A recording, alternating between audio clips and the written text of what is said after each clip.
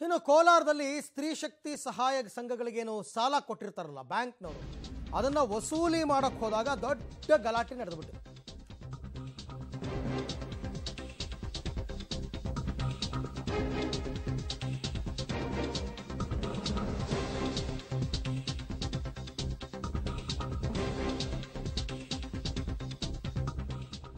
ಸ್ತ್ರೀ ಶಕ್ತಿ ಸ್ವಸಹಾಯ ಸಂಘಗಳ ಸಾಲ ಮನ್ನಾ ವಿಚಾರ.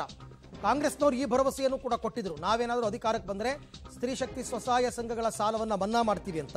ಹಾಗಾಗಿ ಕೋಲಾರದಲ್ಲಿ ಮಹಿಳೆಯರು ತೀವ್ರ ಹೋರಾಟ ಮಾಡ್ತಾ ಇದ್ದಾರಂತೆ. ಯಾಕೆಂದರೆ ಸಾಲ ವಸೂಲಿಗೆ ಹೋದ ಸಿಬ್ಬಂದಿಯನ್ನ ಹಗ್ಗದಿಂದ ಕಟ್ಟಾಕೋದಕ್ಕೆ ಮುಂದಾಗಿದ್ದಾರೆ ಮಹಿಳೆಯರು. ದಾಖಲಾತಿ ಪತ್ರಗಳನ್ನು ಹರಿದಾಕಿ ಆಕ್ರೋಶ ವ್ಯಕ್ತಪಡಿಸಿದ್ದಾರೆ.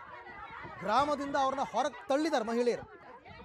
ಕೋಲಾರ ಜಿಲ್ಲೆ ಮುಳುಬಾಗಿಲು ತಾಲೂಕು ಬೈರಕೂರು ಗ್ರಾಮದಲ್ಲಿ ನಡೆದಂತಹ ಘಟನೆ. ಸ್ತ್ರೀ ಶಕ್ತಿ ಸ್ವಸಹಾಯ ಗುಂಪುಗಳ ಬಳಿ ಸಾಲ ವಸೂಲಿಗೆ ತೆರಳಿದ್ರು ಡಿಸಿಸಿ ಬ್ಯಾಂಕ್ನ ಸಿಬ್ಬಂದಿ.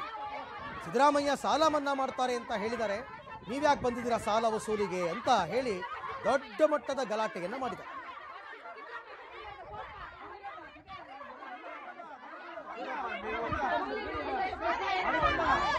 ಸಿದ್ದರಾಮಯ್ಯ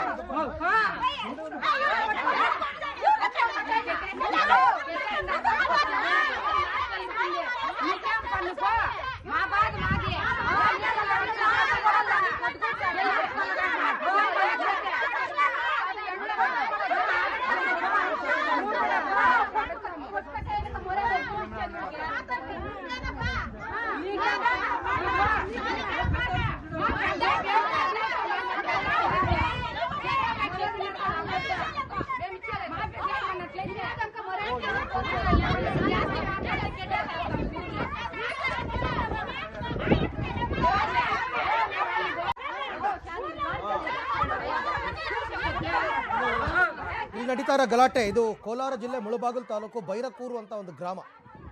ಇಲ್ಲಿ ಡಿ ಸಿ ಸಿ ಬ್ಯಾಂಕ್ ಅವರು ಸ್ತ್ರೀ ಶಕ್ತಿ ಸ್ವಸಹಾಯ ಗುಂಪುಗಳಿಗೆ ಸಾಲ ಕೊಟ್ಟಿರ್ತಾರೆ. ಸಾಲ ಇವರು ಕಟ್ಟಿರಲ್ಲ, ಮರುಪಾವತಿ ಮಾಡಿರಲ್ಲ. ಅದನ್ನ ಮರುಪಾವತಿ ಮಾಡಿ ಅಂತ ಹೇಳೋದಕ್ಕೆ ಸಿಬ್ಬಂದಿ ಹೋಗಿದ್ದಾರೆ. ಹೋದಂಥವ್ರನ್ನ ಹಿಡ್ಕೊಂಡ್ಬಿಟ್ಟಿದ್ದಾರಪ್ಪ ಮಹಿಳೆಯರು. ಸಿದ್ದರಾಮಯ್ಯ ಹೇಳಿದ್ರು, ನಾವು ಅಧಿಕಾರಕ್ಕೆ ಬಂದರೆ ನಮ್ಮ ಸಾಲ ಎಲ್ಲ ಮನ್ನಾ ಮಾಡ್ತೀವಿ ಅಂತ. ಈಗ ಅವ್ರು ಸಾಲ ಮನ್ನಾ ಮಾಡ್ತಾರೆ. ನೀವ್ಯಾಕೆ ವಸೂಲಿಗೆ ಬಂದಿದ್ದೀರಾ? ಅದು ಯಾವ ವಿಕೋಪಕ್ಕೆ ಹೋಗಿದೆ ಅಂದರೆ ಹಗ್ಗ ತಗೊಂಡು ಕಟ್ಟಾಕಕ್ಕೆ ಹೋಗಿದ್ದಾರೆ ಇವರೆಲ್ಲರೂ ಊರಿಂದ ಲಿಟ್ರಲಿ ಹೊರದಬ್ಬಿದ್ದಾರೆ ಇವ್ರನ್ನ. ಬರಬೇಡಿ ನಮ್ಮ ಊರಿಗೆ, ನಾವು ಕಟ್ಟಲ್ಲ ಇನ್ಮೇಲೆ. ನಾವು ನಾವು ವೋಟ್ ಹಾಕಿ ಕಾಂಗ್ರೆಸ್ಸನ್ನು ಅಧಿಕಾರಕ್ಕೆ ತಂದಿರೋದೇ ಇದಕ್ಕೋಸ್ಕರ.